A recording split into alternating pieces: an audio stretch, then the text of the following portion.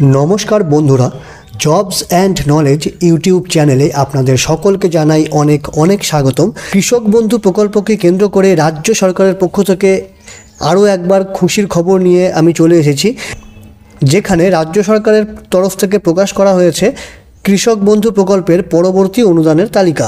কৃষক বন্ধুর এই নতুন লিস্টের সমস্ত বিস্তারিত তথ্য নিয়ে আজকের ভিডিওতে আলোচনা করব। সুতরাং ভিডিওটা প্রথম থেকে শেষ পর্যন্ত সম্পূর্ণটা দেখতে থাকুন। তথ্য অনুসারে কৃষক বন্ধু প্রকল্পের গুরুত্বপূর্ণ আপডেট। প্রকাশিত হল কৃষক বন্ধু প্রকল্পের পরবর্তী অনুদানের তালিকা। নতুন লিস্টে আপনার নাম আছে তো? আপনি টাকা পাবেন কি না চেক করে দেখে নিন। নিউজ আপডেট অনুসারে পশ্চিমবঙ্গে বসবাসকারী কৃষকদের জন্য রয়েছে এক দারুণ সুখবর। বিভিন্ন সূত্রের তরফে প্রকাশিত তথ্য অনুসারে জানা গিয়েছে যে, খুব শীঘ্রই পশ্চিমবঙ্গে বসবাসকারী কৃষক বন্ধু প্রকল্পের আওতাধীন সমস্ত কৃষকদের এই প্রকল্পের অধীনে অনুদান দেওয়ার প্রক্রিয়া কার্যকর করা হবে। বিভিন্ন সূত্র মারফত প্রকাশিত তথ্য অনুসারে জানা গিয়েছে যে, এই নতুন অর্থবর্ষের একেবারে শুরুতেই কৃষকদের কৃষক বন্ধু প্রকল্পের আওতায় অনুদান প্রদানের প্রক্রিয়া কার্যকর করা হবে রাজ্য সরকারের পক্ষ থেকে।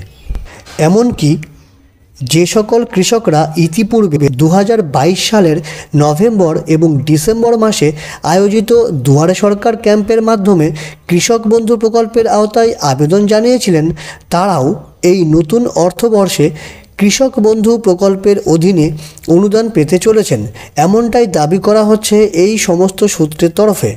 আগামী দিনে আপনিও কৃষক বন্ধু প্রকল্পের অনুদান পাবেন কি না জানার জন্য যেতে হবে কৃষক বন্ধু প্রকল্পের অফিসিয়াল ওয়েবসাইট, অর্থাৎ এখানে যে উল্লেখ করা রয়েছে ওয়েবসাইট, এই ওয়েবসাইট আপনাদের যেতে হবে।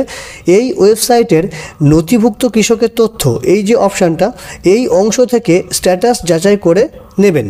এক্ষেত্রে যে সকল কৃষকরা ইতিপূর্বে টাকা পেয়েছিলেন এবং তাদের ট্রানজাকশান স্ট্যাটাসের ঘরে ট্রানজাকশান সাকসেসফুল লেখা ছিল, কিন্তু বর্তমানে যে সকল কৃষকের ট্রানজাকশান স্ট্যাটাস এর ঘর ফাঁকা হয়ে গিয়েছে, তারা আগামী দিনে কৃষক বন্ধু প্রকল্পের আওতায় অনুদান পাবেন বলেই দাবি করা হয়েছে বিভিন্ন সূত্রের তরফে প্রকাশিত তথ্যে। কৃষক বন্ধু প্রকল্পের আওতায় অনুদান প্রদানের পূর্বে ট্রানজাকশান স্ট্যাটাস এর ঘর সম্পূর্ণরূপে ফাঁকা হয়ে যায়। এবং আগামী দিনে রাজ্য সরকারের তরফে কৃষক বন্ধু প্রকল্পের অনুদান প্রদানের প্রক্রিয়া কার্যকর করা হলে পুনরায় ট্রানজাকশান স্ট্যাটাসের ঘরে আগের মতোই স্ট্যাটাস আপডেট হতে থাকে এবং সবশেষে কৃষকের ব্যাংক অ্যাকাউন্টে টাকা ট্রান্সফার হওয়ার পর তা ট্রানজাকশান সাকসেসফুলে পরিণত হয়। তো আশা করি এই সম্পূর্ণ বিষয়টা আপনারা বুঝতে পারলেন।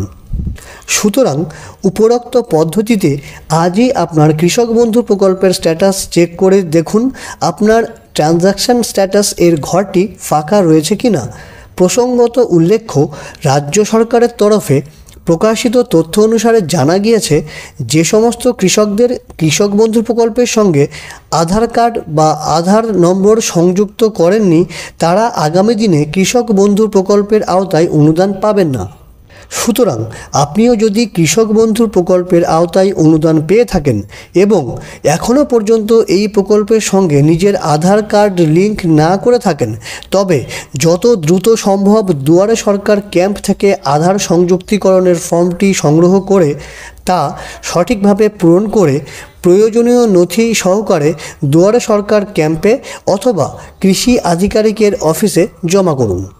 তো বন্ধুরা, তাহলে আশা করি এই কৃষক বন্ধুর নতুন আপডেট সম্পর্কে আপনারা সমস্ত বিষয়টা বুঝতে পেরেছেন এবং নতুন লিস্ট বা নতুন লিস্টে আপনাদের নাম কীভাবে চেক করবেন স্ট্যাটাস কীভাবে চেক করবেন, সমস্ত বিষয়টাই কিন্তু এই ভিডিওতে পরিষ্কার করে বলে দেওয়া হয়েছে।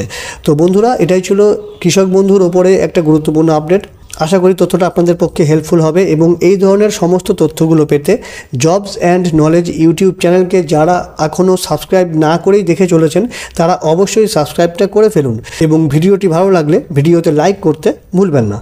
তো তাহলে বন্ধুরা, আজকের ভিডিওতে এই পর্যন্তই। ভিডিওটা প্রথম থেকে শেষ পর্যন্ত সম্পূর্ণটা দেখার জন্য অনেক অনেক ধন্যবাদ। ভালো থাকুন, সুস্থ থাকুন জবস অ্যান্ড নলেজ ইউটিউব চ্যানেলের সঙ্গে থাকুন।